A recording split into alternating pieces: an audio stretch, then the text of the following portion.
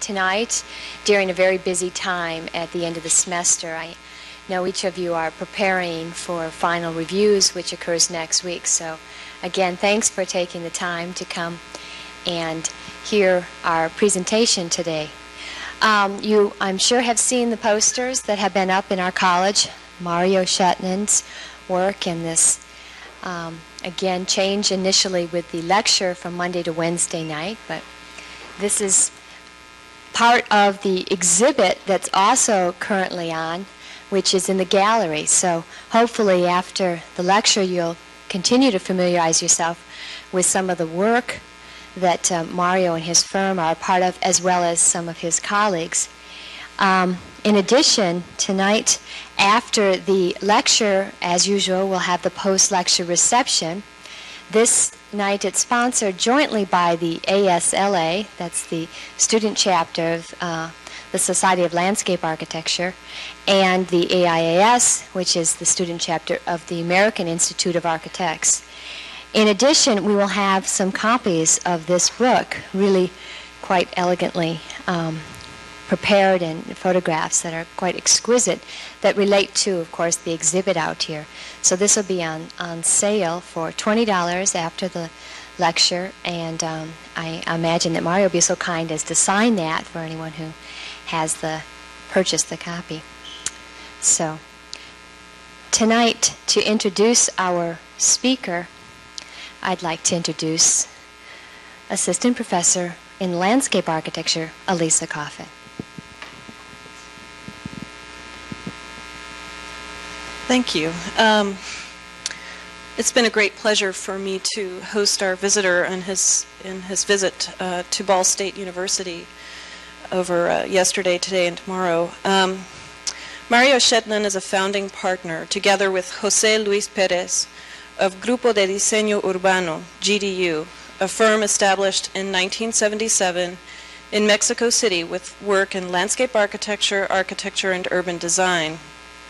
The work of GDU has been recognized by the American Society of Landscape Architects with the President's Award of Excellence for Parque Tezozómoc, an honor award for Parque Histórico Culhuacán, and a merit award for Parque Ecológico Xochimilco.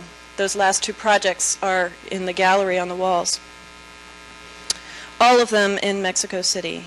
Um, Bruce Sharkey at Landscape Architecture magazine uh, recently wrote, uh, conceptually, Mario's work is not just about aesthetics. A lot of what he does is drawing from a very rich past and has to do with improving the social well-being of his people. The work of GDU has been published in design magazines and books in various countries of Europe, Japan, Latin America, and the U.S.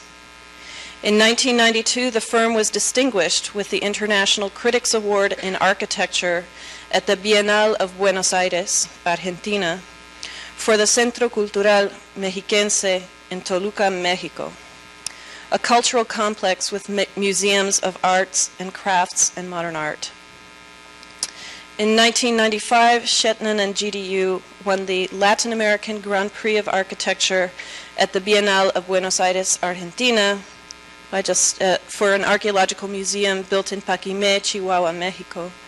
In 1996, Parque Ecológico Xochimilco was recognized with the Distinguished Prince of Wales Green Prize in Urban Design given by Harvard University's Graduate School of Design.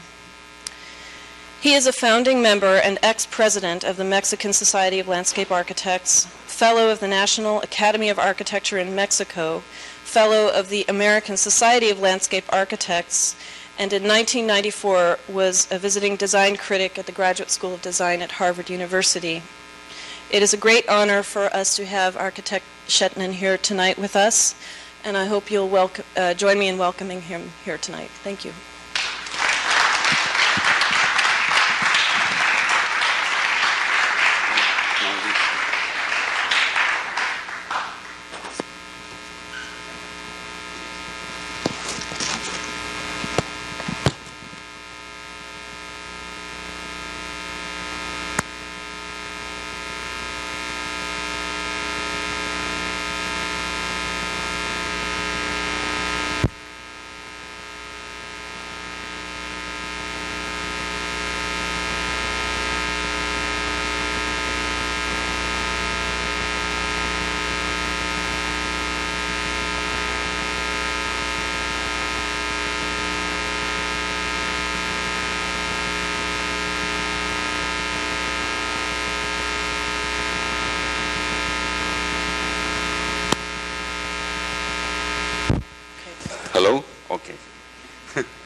Yes. Well, good evening. Uh, it is a uh, pleasure and an honor here to be here at uh, Ball State University.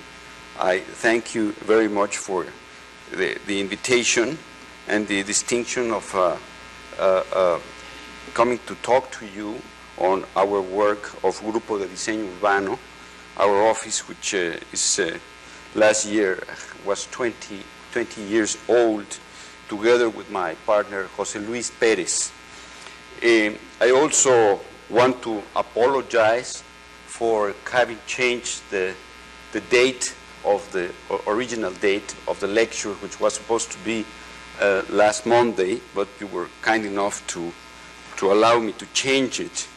Uh, um, what I want to show you tonight is some of, of the work we have done in Grupo de Diseño Urbano, an office is established in Mexico City uh, in the last uh, 20 years, where we have done work in the area of urban design, architecture, and landscape architecture. There are several issues that we are interested in in our work, uh, and I would like to, to tell them to you and to try to communicate them to you. Um, one is the issue of, uh, we are very much interested in, our work in terms of integrality. By integrality, we mean uh, establishing bridges, establishing connections between the disciplines of design in terms of architecture, landscape architecture, and urban design. Many times our work starts as urban designers and we end up doing uh, uh, uh, landscape architecture, or, or sometimes we are asked to do a building and we uh, conceive that building as a piece of the landscape. Uh, uh, we have had, we say in our, in our office, we say uh, the, every piece of architecture is landscape because it is in the landscape. And every piece of landscape we design, we conceive it as architecture because it is a built project. Uh, it doesn't mean that architecture, does it mean that then that architecture, urban design, and, and landscape can be done by anybody and can be done by any, anyone else? It, it's, and I don't think so. There are, there are uh, precise distinctions between these disciplines in terms of uh, methodology, technical aspects, and uh, um, crafts, crafts in itself as, as professions. But I think the similarities are in terms of a view of creating place and of uh, uh, uh, establishing and manipulating space. The second um, issue that we are interested in our office is uh, the specificity of place. By that, we really mean that we like to look at a place from a very uh, uh, thorough way, not only from the environmental point of view, for, but from the phenomen- phenomenological point of view. That is, what is the essence of place? What is the nature of this place?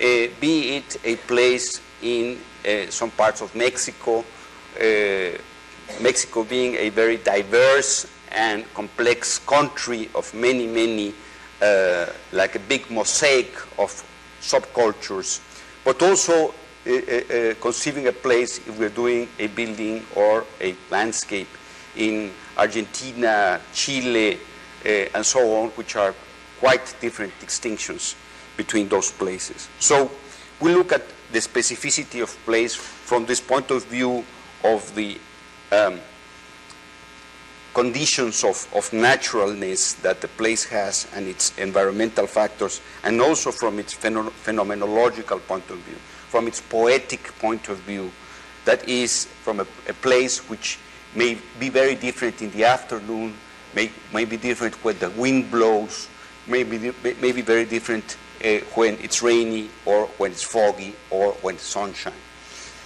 Uh, the third uh, factor or um, quality that we are trying to look for in our work is looking at myth memory, and culture. By this, we, we uh, uh, think that by living in Mexico and by establishing our, our roots re related to Mexico, we have uh, become uh, involved and immersed with history and, and, with, and with culture and with myth. But we have been, we have looked at history not from a, a view of trans, translating his history in, in a very uh, facile or, or um, uh, copying history because that can take us very easily to mockery, to, to, uh, um, uh, to copying it, to, to, uh,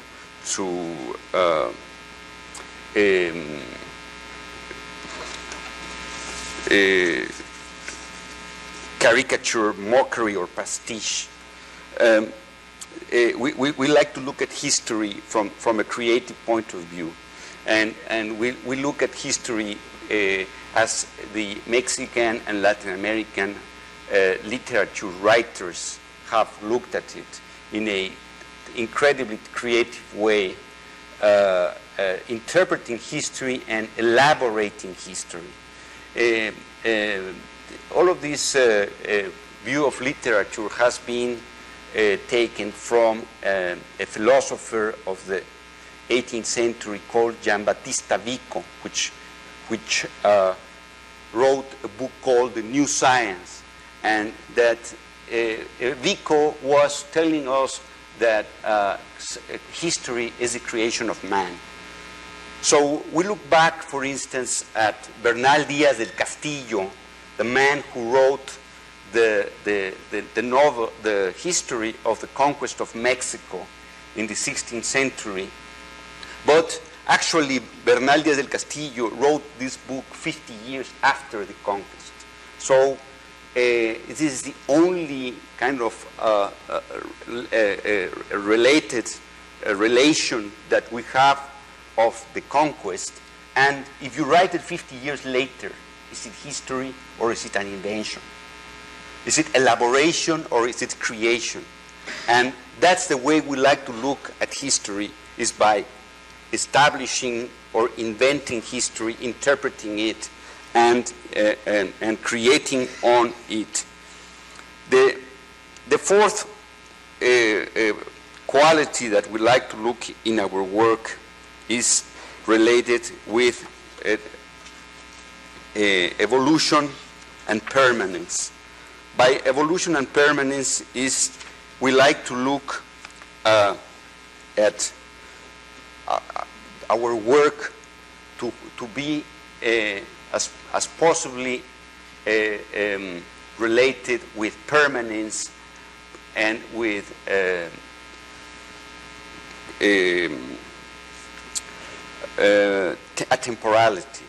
By, by a temporality, I mean the, the kind not, not the last minute vanguard or the 15 minute uh, fashion, which is so in much in vogue in certain circles of architecture or landscape. But we like to look at from the point of view of those eternal qualities of permanence and uh, uh, presence that uh, the work of Louis Kahn or Luis Barragan has in much of its work. Um, we also like to look at our work from the point of view of its spiritual quality.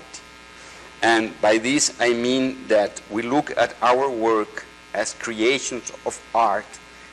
Uh, sometimes we, we don't, we don't uh, uh, uh accomplish it, but we uh, strive for it, we look for it in, in order to have uh, our work become and, and, and uh, communicate the, this spirituality that art can evoke, evoke in, in man and in women, in women. And finally, we look at our work in relation to nature. But uh, we look at our work in relation to nature from the aspect or from the point of view of creating with nature not replicating nature or recreating nature. We, we would like to see our work very much immersed and evolved of, from nature and reestablishing nature, but also with a high degree of creativity with nature. So uh, I would like to show you some of the work that we have done in the last more or less 10 to 15 years in our office. I will show you some projects first of landscape architecture and uh, uh, then a few projects of urban design and then of, of uh, architecture at the end. Oh, again, buttons. There. Well, this park, we, we, we- designed this park in Mexico City in 1978 and finished it in 1982. Um, uh, this, this park was in a very uh, poor district of Mexico City and an industrial district, as, as you can see. Uh, uh, when, we, when they asked us to design this park, they wanted us to do a museum in this part of the city. So we went and looked at those buildings, and they said, listen, to build a museum here, there are many museums of archaeology in Mexico City, and uh, uh, uh, it's very costly. Why don't we uh, do the park to be the museum itself? We found out also by doing research in this area of the city, which is uh, one million people in this whole area of the city, northeast, northwest section of Mexico City, and uh, we found out that there were many, many immigrants into this part of the city. That the immigrants didn't have a knowledge of place, a history of place, and they really didn't know what this place was all about.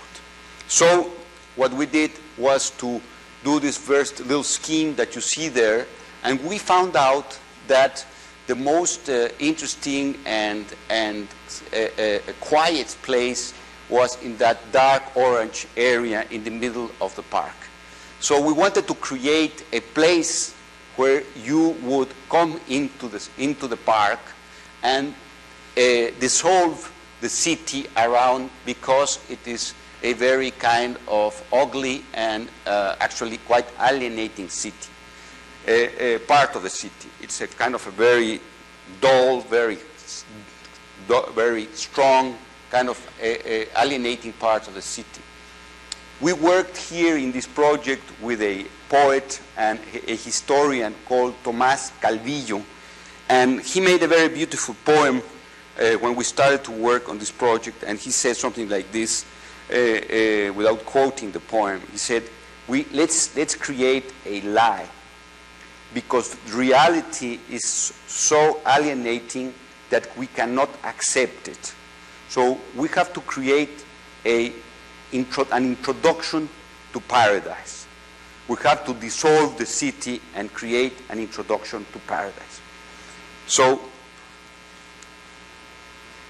we, what we did here was to take the model of Mexico City as it was in the 15th century during the conquest of the Spaniards, and uh, we uh, also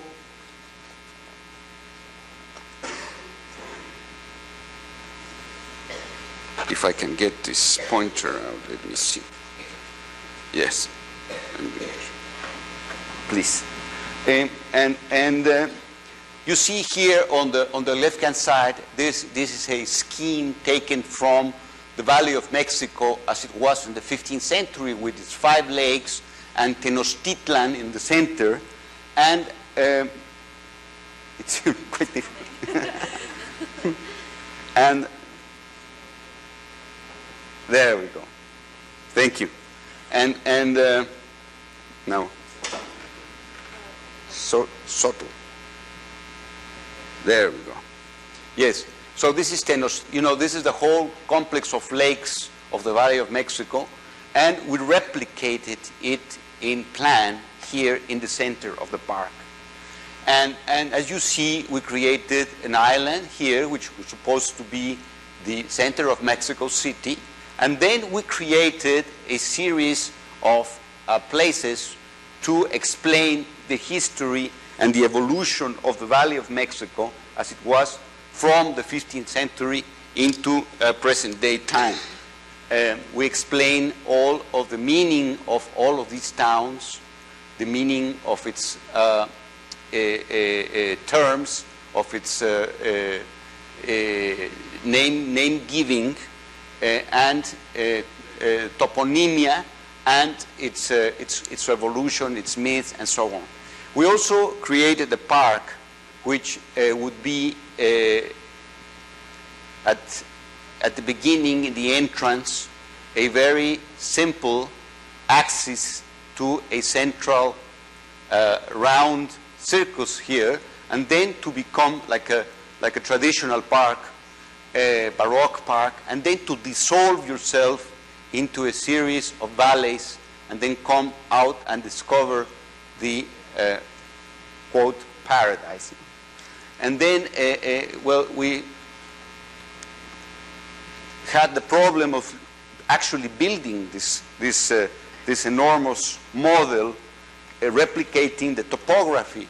So what we did is we found out that there was the construction of the metro line system nearby the park, and we uh, uh, convinced the authorities to deposit all of the all of the fill that was taken from the excavation of the metro into the park to create the mountains of the park.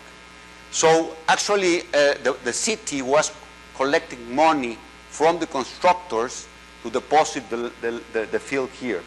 So the park made money in the beginning of the construction. And, and, and uh, uh, you can see here, I'm here, uh, located here to give you a, a, a, scale of the movement of dirt and soil and so on. And then we had the supervision of people to so we didn't have concrete or rubble or something like that. The park, as it looks today, uh, from an aerial view, you can see that it's established and the lake here, uh, again, the lake in the form of the, of the Valley of Mexico as it was in the 16th century with Tenochtitlan here and a series of, you can see little plazas uh, and obelisks which have this, this historical con connotation to it. The, the water for the park was also a, a, second problem. Mexico City has a very big problem of water. We said, where do we want to take the water? So we uh, uh, fixed up a, uh, a water treatment plant of a nearby housing project, and we uh, uh, connected it to the, to the park. So the park actually gets uh, recycled water and tertiary treated water, and then from this, the park then irrigates the, the, the, the whole green areas, let's say, of the park.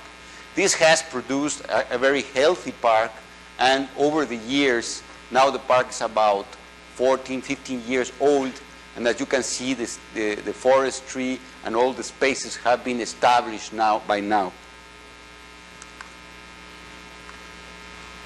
Uh, going into the park, you can see here the main axis into the center of, of this, circle, uh, and then um, you dissolve yourself into this forestry, these mounds, and into the park itself. Uh, as you come here, you, you find this building, and uh, uh, the building is kind. Is, is, is a, we try to do it as an opposition to the naturalness and to the, the topographic, organic part of the park. It's, you can see it's a very kind of Corbusian rationalist building st standing uh, separated from the ground on, on stilts in a very uh, Corbusian kind of way, let's say. Then you suddenly come up and turn around and you see the park.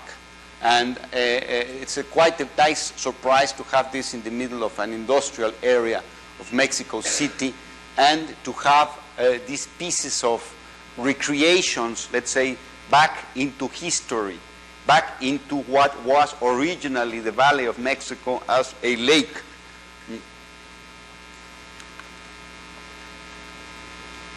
the park also is a place, is a very much place for people. Uh, something like 20 organized groups have emerged out of this park in all kinds of uh, organizations, Boy Scouts, Girl Scouts, uh, whatever, you, you name it. And also it's a park of tranquility. You know, it's a park, it's a park for love, it's a park for lovers, and, and, and I, I love that because it, it means that it's a safe park and also it is a very uh, uh, private and intimate park. And, and again, it's a, it's, a cultural, it's a cultural place, as I was telling you. These are the obelisks that tell the, the history. These are three-sided uh, obelisks, which on one side tell the history, on another the myths, in another one the location and the evolution of the lake. And you see here, inadvertently, these people are looking at the obelisks, and therefore they are uh, uh, reading this history of the Valley of Mexico. Uh, in, in, the center, uh, you can find, uh, well, the, the, uh, the original sculpture, which is in the Zócalo of Mexico, the downtown plaza of Mexico, with the evocation of the founding of the city.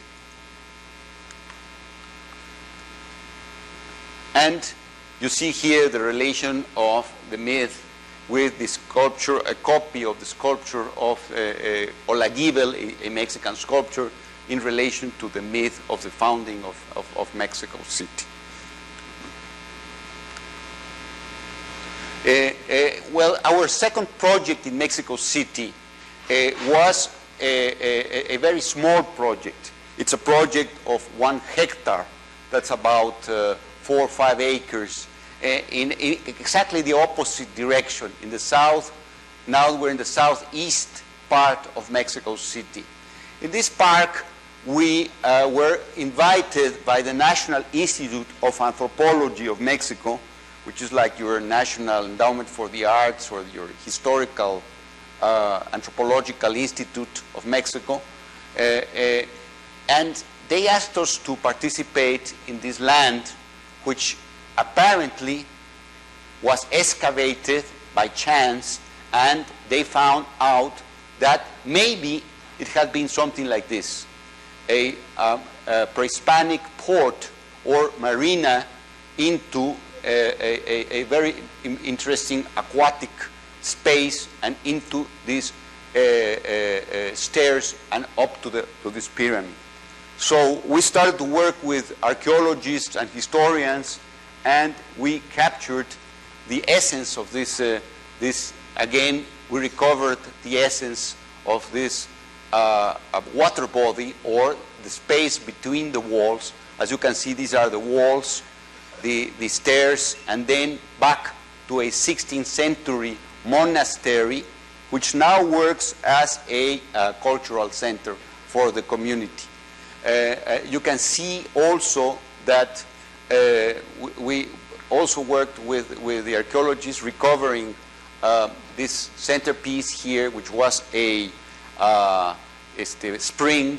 And then we also wanted to create a series of outdoor rooms to uh, have uh, people come out from the, the, the cultural center, former monastery, uh, out to have outdoor classes, outdoor groups of classes, or even an outdoor auditorium. We also had, uh, well, views of access to the, to the pilgrim's entrance, to the cupola, and so on and so forth.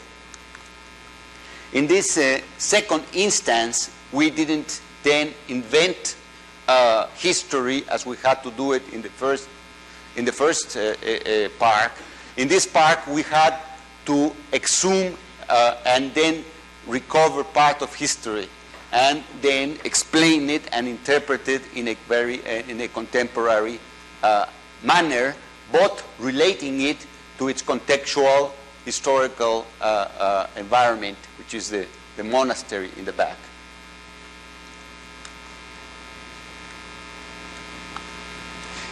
then we had this uh, like I say, these outdoor rooms which uh, uh, were signified or, or, or uh, established with these textures in stone. You can see this is the same type of stone in the, the, the, walls or the benches or the pavement or the different types of pavement. And very simple types of landscape uh, uh, assemblages, assemblages or compositions uh, around the walls.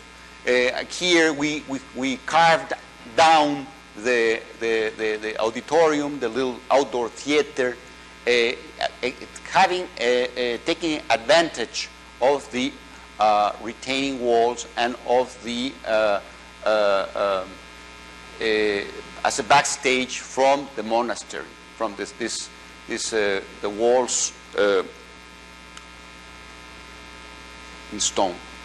You can see here again the series of treatments related to the pavement and the spaces and also to the water body in the middle. Again, a series of outdoor rooms and we also uh, worked uh, uh, recovering parts of old buildings of Mexico City.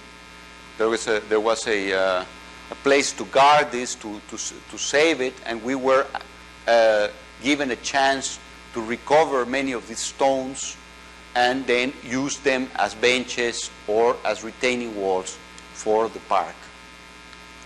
And again, this is another very poor district of Mexico City, and this park works as a very interesting community center and as a very interesting community area and uh, as a important gathering place. You can see here, for instance, uh, uh, this place was used as a stage in the middle of the water to hold theater at night, to hold uh, folkloric dances, and so on. Or we can then uh, have, have uh, these uh, very interesting and very funny uh, legends around uh, the park, explaining the myths, explaining the legends the, from the park. For instance, this, is, this, is, this one says, according to local tradition, here is where the siren of Culhuacan, protector of the washers of clothes, lavanderas, used to come to find the charro negro, the black cowboy uh, from Churubusco, which came to take them in a whirlwind and to, to have to make love to them. You know, to, to, so there was this this kind of very interesting myth legend around around the, the, the washing of clothes, the, the lake, and so on. El charro negro. Okay, this, this third part of this third tri, tri, trilogy we have with, with, with the Valley of Mexico is uh, in Xochimilco, the last project we have finished in Mexico City. Uh, Xochimilco, as you must know, is a, a remnant of what existed in the Valley of Mexico, uh, and it's the last remnant of this lacustrian culture which uh, created a, a form of agriculture, a production form, which created a specific architecture, a, spe- a, a specific culture of transportation, and a specific culture of construction in, in downtown Mexico City as it was in before the, the Spaniards came. So the last uh, remnant of Xochimilco is this. You can see still here, look at the, at the uh, codexes and which relate to this, to this culture. For instance, these people uh, uh, uh, in, their, in their canoes, you know, uh, people washing themselves or, or hunting or creating myths and so on, until to the present day where uh, you find uh, the, the, the mountains, the lake, and the famous uh, agricultural islands called Chinampas, which is uh, probably the most important uh, invention, technological invention of the pre-Hispanic era. But also, this, um, this became a certain myth because this, for instance, this, this slide, I, I, I bought it in a typical tourist store of Mexico City. But the reality is this. The reality by the 1980s was that the place was degrading itself and being invaded by squatter settlements at the, at the rate of three or 400 hectares per year. And, for instance, these were canals three or four years before. And this was a, a, a natural landscape, well, not natural, I mean, but agricultural landscape like this before. By this time also, due to the lack, due to the extraction of water for the, Mexi for the city of Mexico, uh, you can see where the level of water was and where actually the level of water went down by the 1980s. And so this place was the, on the verge of destruction and abolition by the, the late 80s.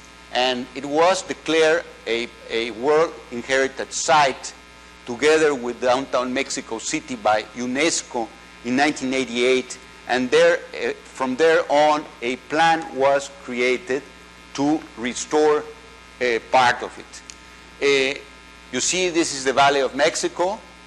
All of it, what it's all in brown is the, the metropolitan area, today encompassing about 15 million people. The only remnant of this Lacustrian culture is this, this, and that. This one, this space here, is, is all of this. Okay?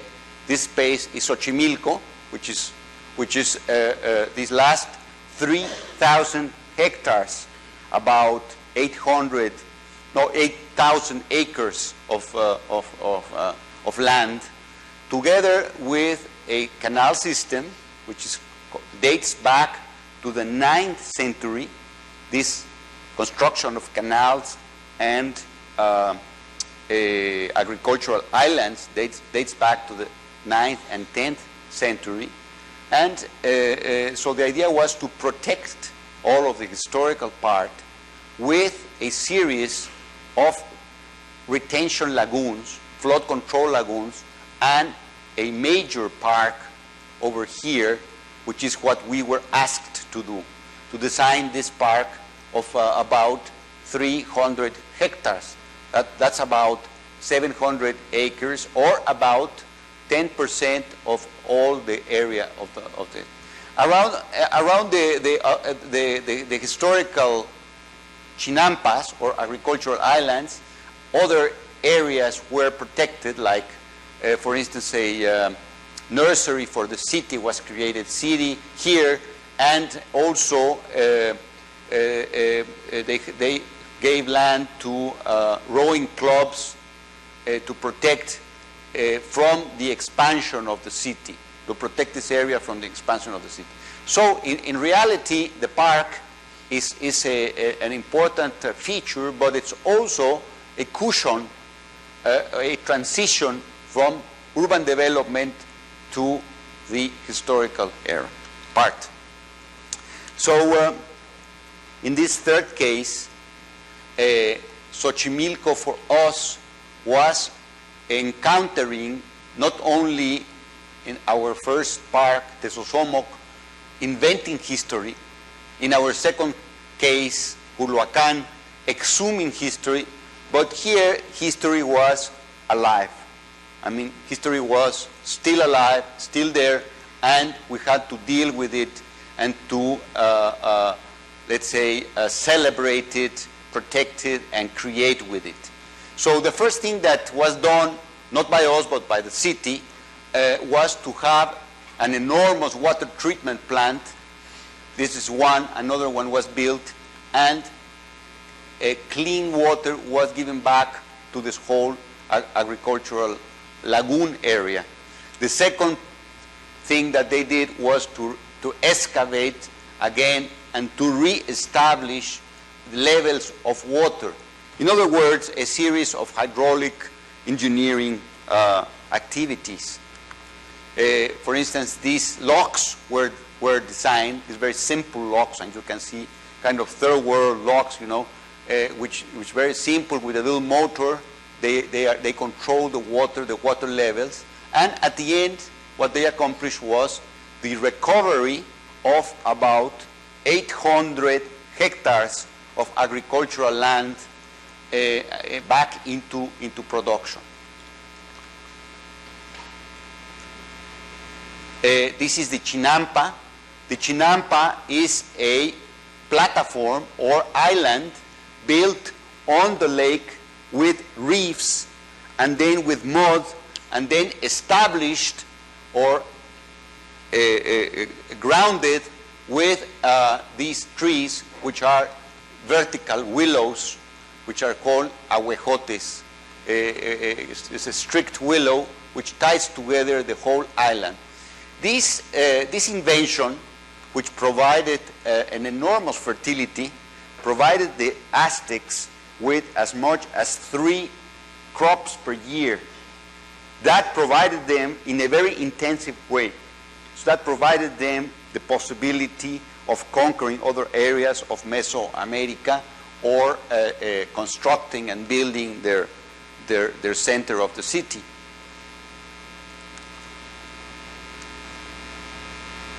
Okay, when we started to design the land, this is the historical part. This is the new freeway which runs around Mexico City. And uh, uh, we, we, we, encountered a very flat, a very uh, ordinary, without trees landscape, actually a very ugly landscape, but with a magnificent surrounding. So the first thing we did was to establish important accesses to the sacred mountains of this cosmo cosmogony that existed way back uh, uh, in, the, in the history of Mexico City. So we did research also in relation to old painters, to um, a, a, a aerial photo photography of the 1930s and 40s, and so on. So the first thing was to establish the park in relation to its territory. So we created a series of accesses to mountains, to lakes, and so on.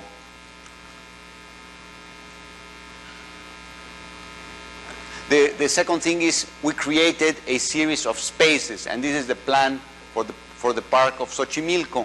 The park is related in three, actually three parks. The, what is called the ecological park, which is a uh, arboretum, demonstration, agricultural demonstration area, and recreational area with the lake. This is a new lake that was excavated.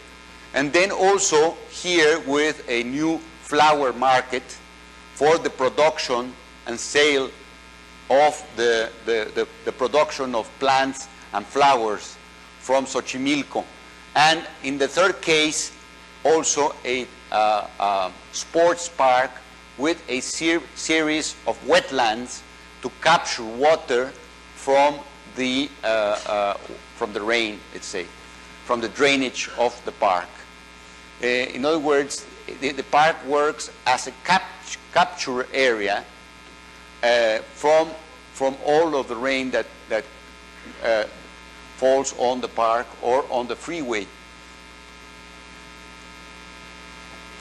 The, the park has this entrance and then proceeds through a uh, paseo or stroll of flowers down to a, an embarcadero or a pier and from there you embark yourself and you go to the historical area.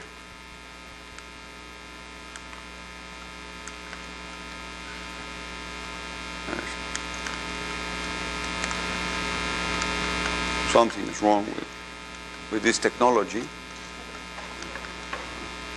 Okay, the next one. Yes, thank you. Okay, this, this is the central part of the park.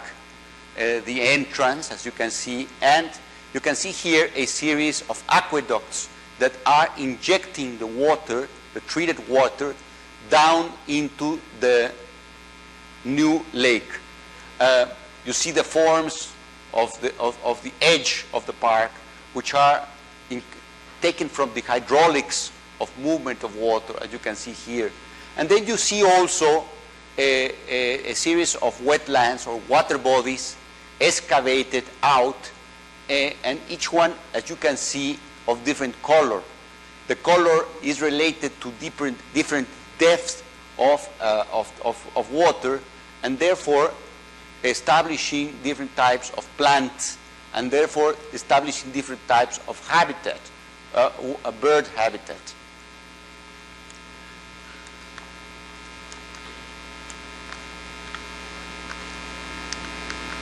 No, it's not working anymore. The, the, uh, Okay. Well, uh, uh, you can see here, for instance, our relations and, and access to the mountains and re-establishing this historical landscape, but now from uh, Mexico City's most important uh, thoroughfare or, or, or circulation system, uh, the, the peripheral road. You see, you see in all the, the uh, Diego Riveras and, and so on, painters and, and, and, and photographs, you see this great expanse of water, trees in the foreground, or background, I mean, and then a, a relationship to this mountain, for instance, which is very important.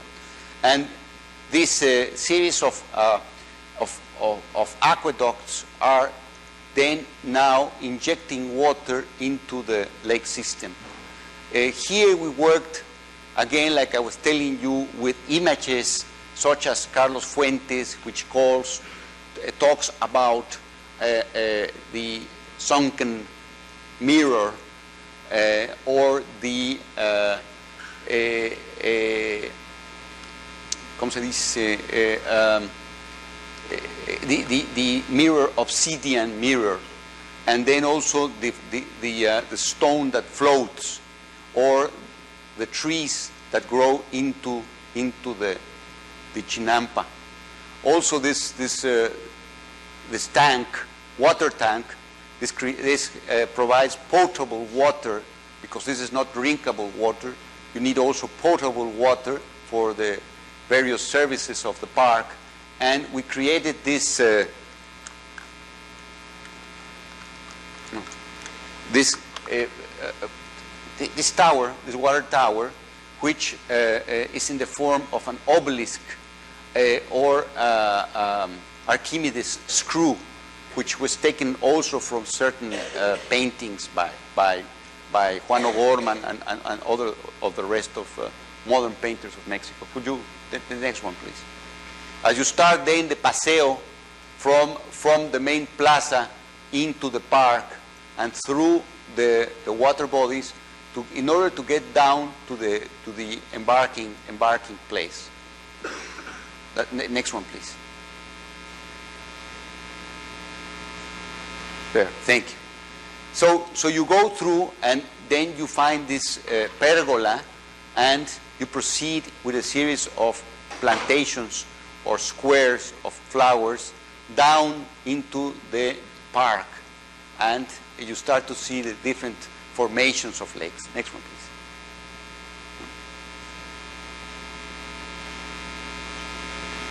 Yes. At the end of this procession, you get into the central plaza and down to the embarking place, and then you can see here a series of uh, uh, ch- chinampas which were emerged from and excavated back on its side. Next, next one, please. Here, here they are. And we, we, we worked together with the engineers and changed the plan very many times, you know, and, and reestablished the concept as we were digging, digging down into the possibilities of recovering these, these, these islands, these chinampas. Next one, please. Uh, in the didactic part or educational part of the park is this uh, arboretum which deals with plants from the central part of Mexico, from the high plateau. And you can also see uh, uh, back uh, many, many species of birds which have naturally come back to the, to the area. Next one, please. At the, at the entrance of the park, there's also the, a, a building. This building is a community center and a uh, interpretative center, and it has this uh, ramp to go up and to view the park from, from its uh, roof. It's like a platform of, uh, or mirador to look out into the park. It has also this central, as you see, it's a square with a round central, central uh, courtyard or patio. Next one, please. You go up into the roof and you find out these uh, bleachers to sit and to look out to the magnificent landscape and, and also orientated specifically to the sunset. Uh, the, the, the round patio or courtyard is uh, coronated by these uh, uh, agave plants, which for me is the, is the symbol of the central part of Mexico. Next one, please. Uh, at the center, you see this, again, this black obsidian mirror, which takes advantage of the movement of the sun or the moon and traces its movement. You can see here the sliding sky, which goes up and then dissolves into the real sky, uh, uh, and coronated by these, uh, by these uh, uh, agave plants. There's the interior of the building with, with the, uh, playing with the strict square, round, and then a free form here, and, and location of some uh, uh, viewpoints or oculus out into the, into the landscape. Next one, please.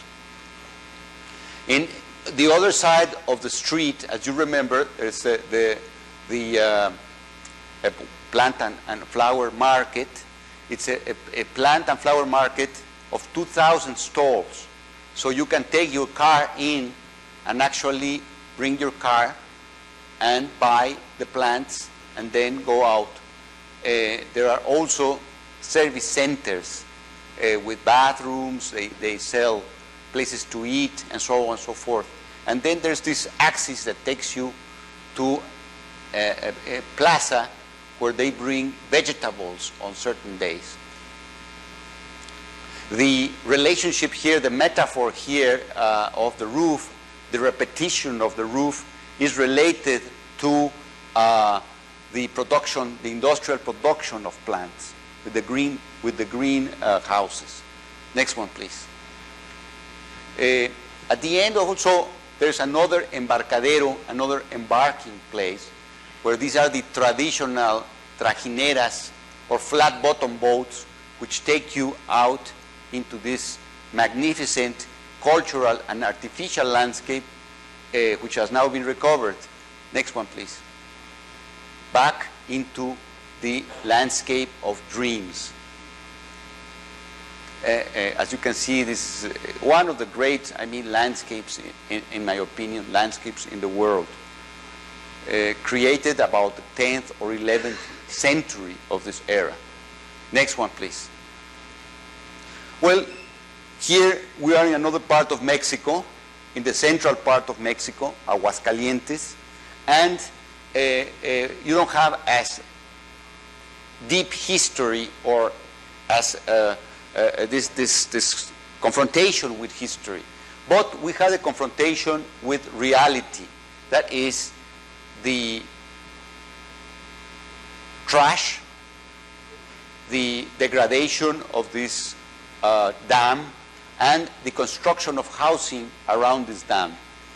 So the authorities of Aguascalientes asked us to do a park around this dam and to re-establish the dam again. So next one, please.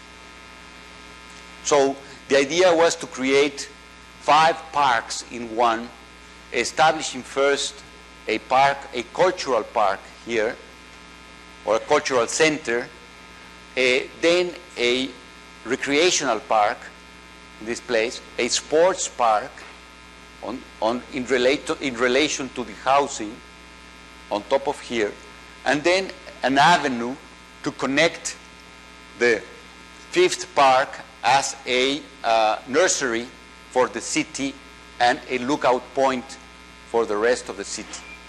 Uh, uh, also here at the end, a, a, natural or ecological park with this dry river. So uh, uh next one, please. Uh, we start, you know, we start to design the entrance of the park with this cultural center here. as you see, part urban design, part architecture, part environmental uh, uh, uh, restoration. here, this first lake acts as a cesspool, cleaning all of the all of the refuse and garbage that comes down from the rivers down into, and there's a sifting point here. And we took advantage of this sifting point to locate a bridge and a pedestrian bridge and a little cafeteria here.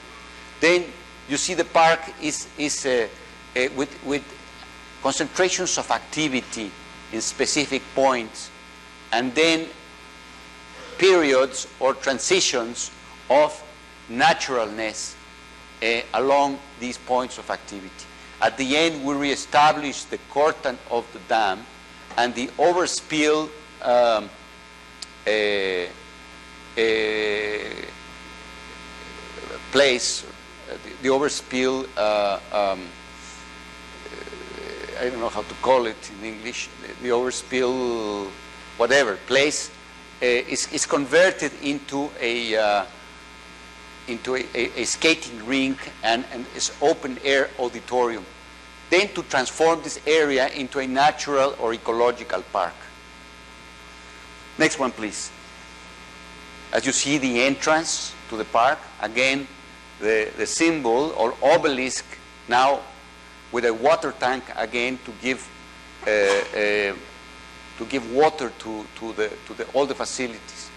The park, as you enter, you find this kind of agora or plaza with cultural activities in, one, in each of these modules. Each of these modules are, next one please, uh, workshops. For instance, this, this, this workshop is, is related to dancing, uh, to ballet dancing. Others are related to uh, music, to uh, painting and sculpture, to uh, teachers at uh, adult education, computer, and so on. There are nine, nine of these modules in the entrance. And we wanted to work here with a lot of transparency in order to invite people to go into these shops, into these workshops, to, to come in and to look at people as they were uh, having these workshops. Next, next. So the, the, the second part or activity is, uh, again, like I told you, the bridge, which act, acts as a, a, place to clean the, you can see here, for instance, this uh, net, is order to, to clean the, all the garbage and then to, to protect this large water body from, from the garbage. We, we then designed this, uh, this plaza and this, this, uh, this little cafeteria here for social activities. Next one, please.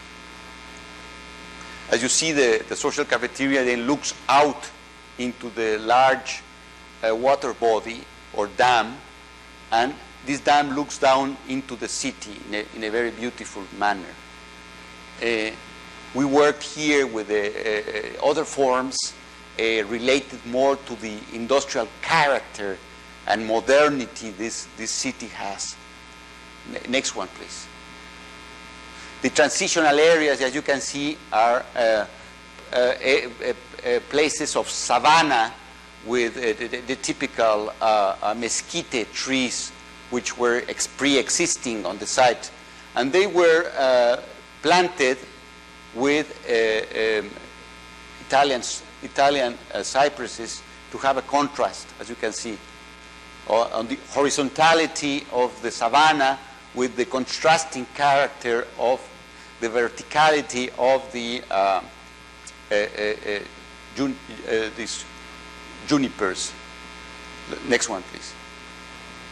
As you can see, at the end of the, of the journey, then this is the dam uh, uh, the overspill area and you can see back into the park with all of these uh, plants which relate to a very dry climate, which is this part of the country. Savanna, dry, dry savanna landscape. Uh, ne next one, please. And then at the end of the, of the, of the dam, the curtain was uh, converted into a again, a stroll a strolling place, a place to stroll, and then to have like, a, like an elongated pergola here with a, a lookout point back into the, into, the, into, the, into the lake and into the park. Next one, please. Okay, uh, this, this park was uh, built uh, very recent, this, this former park. Another project that uh, we worked uh, is, is this uh, golf club entrance, which is outside of Mexico City. When we were invited to do this golf club, we were very preoccupied, very worried about the condition of this uh, golf club in the middle of this agrarian Mexican landscape. And um, we then looked at this, at this agrarian landscape and found uh, these marvelous stone walls which create these platforms and, and mark, mark the, the landscape. Uh, next one, please. So we started to work with these uh, uh magnificent uh, stone walls uh, in order to cover or to hide the, the, the, the, uh, the, golf course and to tie all of this landscape back into its character. We then work with a module here of one meter, a vertical module of one meter in topography. So every time the topography changed one meter, we would, we would then again create this type of, of stair. Uh, as you can see, this is a horizontal that creates a very interesting horizontality and movement of the wall into the landscape. Uh, uh, next one, please. As you turn around, then we created this plaza coming into the, into the golf club or, or development. Uh, we wanted to have a transition from the, from the highway into the development. And uh, we created this plaza uh, with this water, water feature here in the center, a, a, absolutely a mineral plaza, a stone plaza with water. Next one, please. You see the, the character of these stones. These, these stones were uh, brought into the, into, the, into the project from the excavation of the golf course and we, we use them, we move them with, uh, with cranes, and we move them with, with uh, big trucks, very large trucks, mining trucks. Next one, please. So as soon as you get out of the plaza, then you start to discover the, uh, the development. And then get down, you see the, finally the golf course, how it looked, how it was excavated down.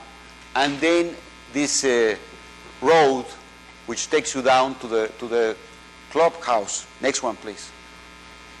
The clubhouse, we did not design it, but we coordinated it.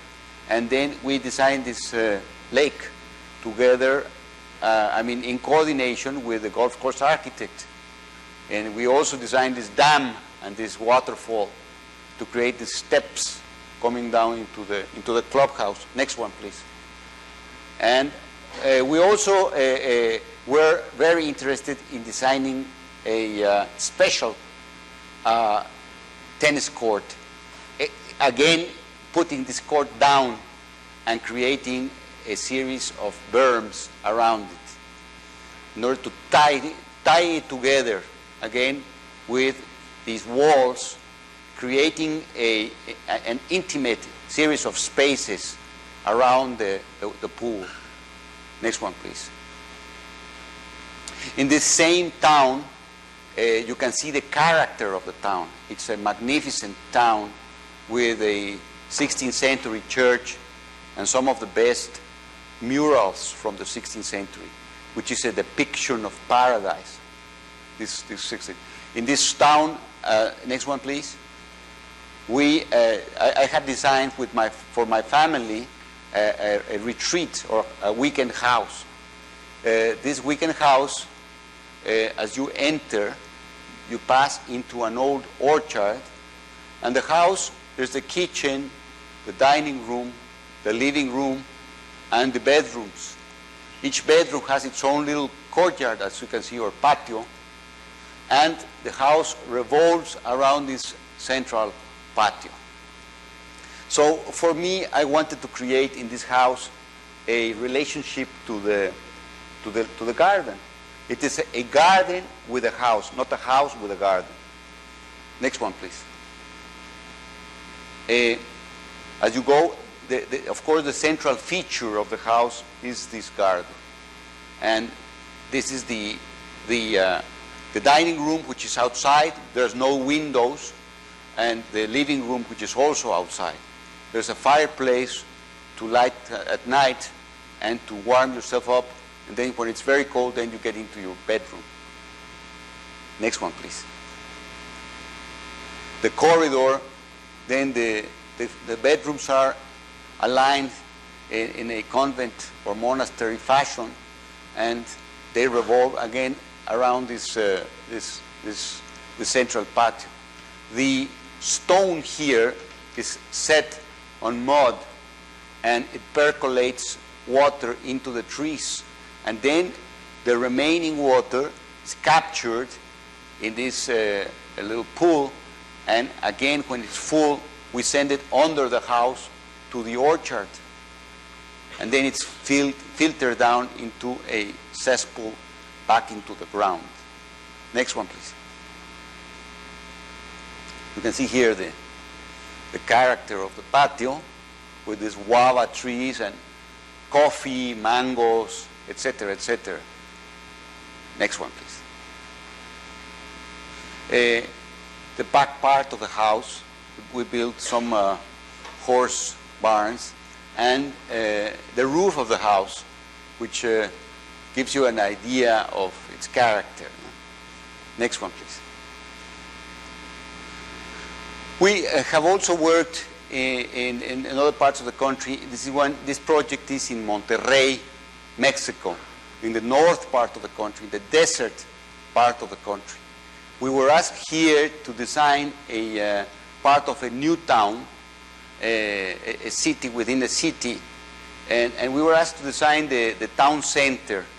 So you can see here the town center related to a series of buildings which were creating spaces, alamedas, the typical alamedas, and then a central garden, let's say, transition to other buildings, a church, and so on. Uh, unfortunately, this, this, this project was never built. Uh, it was only partly built. Next one, please. The entrance to the project was built. We created, uh, we wanted to create a, a, symbol for this enormous development, and we created again a fountain capturing water uh, from the, when it rains, from the desert, let's say, and we uh, recovered many of these uh, uh, yuccas and also many types of landscape, I mean, uh, uh, xerophyte plants, put them on top of this, of this symbol. This, this, this is the symbol like a pointer into the, into the into the city. It was never finished. It was for some for political reasons. Uh, uh, this this uh, development just frozen, and then the governor of, of the state was kicked out, and the whole thing was just stopped. Very typical of our countries. Next one, please. Uh, you can see in the background these magnificent mountains of Monterrey and, and the recovered yuccas, which were put on a grid. And then all of these cacti were, was recovered from the bulldozers and then put on top of this element, which is just uh, filled in with fill, the fill which was taken from the excavation of the streets, of the avenues. Next one, please. We were also asked to do model little plazas for various developments. And working with, this was the first time we were really working with a desert uh, landscape. Uh, very low maintenance and the use of recovered trees. Next one, please. So this was the idea of the, these little plazas. Next one. Again. Next one, please. Uh, the use of the, of the interior streets into the, into the plazas, capturing the water and then recycling it into these uh, areas of, of water retention. Next one, please. Okay, the final project. Uh, this project uh, is in Paquimé, uh, again, the northern part of Mexico, in Chihuahua, and uh, the, uh, the, the National Institute of Anthropology asked us to do a uh, site museum in this uh, great city or archaeological site.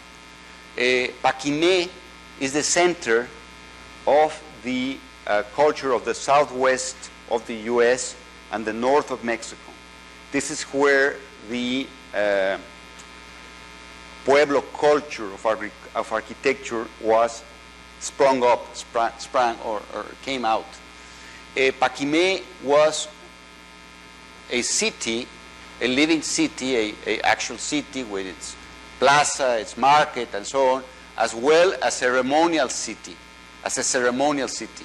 What is interesting here was the the the uh, integration of a real city with capturing water, capturing, creating architecture, and high density architecture with a, a, a, a uh, ceremonial city, a religious city.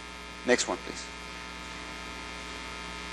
As you can see here, the architecture in this model, uh, they had living animals here. They captured water, they recycled water, they had cisterns under the buildings, and also they create a very sophisticated type of, of pottery. The pottery that's still used and sold in Santa Fe or Albuquerque, well, that's where all sprang in, in Paquimé. And there's a, a town nearby where they still produce this pottery and they sell it in Santa Fe. Next, next, time, next slide. So uh, uh, the, the challenge here was to create a, uh, a museum, a building, without intruding into the integrity of this very sacred landscape. Uh, so we came with the idea of sinking the building down halfway into the landscape and then permitting the desert to come to the, its edge and actually getting on top of it and then going down again. And, and we created a series of courtyards because we didn't want to do a subterranean building. We didn't want to do a, a building completely subterranean. We wanted to do a building create, related to, to sun and to different spaces. So each of these uh, halls of exhibit is related to an important courtyard. For instance, this is the first courtyard, a round courtyard. The second courtyard, which is a dry river, riverbed, which takes out and views out into the desert. And then a third courtyard, which is a triangle related to the sierras, and the central courtyard related to the water coming down from the sierras. Next one, please. So, this is the building as it looks as you approach it, and you see the desert has started to, to, to come up, and you can barely see the, the building, and you eventually discover, discover it. Uh, we only had certain points or, or corners to stick out and create these, uh, these, uh, changes of sun and, and shadow. Next one, please. Uh, as you come down into the entrance of the plaza, entry plaza, go down and you find the, the, the lobby, the entrance to the, to the museum. Next one, please. But you can go also up on top of the museum into this platform to view out the magnificent uh, landscape, landscape out to the, uh, to the desert. You can see for 40, 50 miles on this direction uh, without a single uh, uh, house or whatever, construction. A, a, great, a great landscape out to the, to the sierras of Chihuahua. Next, next one, please. Uh, as you come up, uh, uh, as you come down from the, from the roof down into the central courtyard, you find this courtyard which is related, again, like I was telling you, to the uh, water that comes down from the mountains. Uh, we created this pergola with the space to have activities of representation like uh, storytelling or a concert or what have you uh, in relation to uh, possibilities to use the museum like that. Next one, please. Uh, and then as you come from this, uh, this, this, pergola area, uh, we wanted to work with the edges of the sun and shadow which uh, here in this part of the desert uh, uh, is, is, very intense, very, very interesting. The, the, the light, the, the harshness of the light, but then you can work the quality of the light. Uh, we work here uh, uh, starting to, to sift the light into the interior in the cafeteria of the museum. Next one, please. And then the uh, uh, dark halls of exhibit, uh, we did not do the, of course, the, the exhibit design was done by, by a Mexican architect. and, and we worked together, uh, but what actually he, he designed all of the exhibits. Uh, ne next one, please. But again, like I was telling you, each hall is related to a specific uh, courtyard. For instance, in this hall, which is the everyday uh, hall, what is called the quotidian uh, manufacturing hall, uh, they represent here materials which were used for pottery, for construction, for beads, for uh, uh, many types of instruments, and so on. So this, there's a very beautiful uh, metaphor here with this materiality. Next one, please. And, and finally, uh, uh, this other hall related uh, to the dry riverbed, which goes out into this observation point. And then there's this connection between the regional landscape and the interior of the museum. Oh. Thank you very much. Mm. Mm.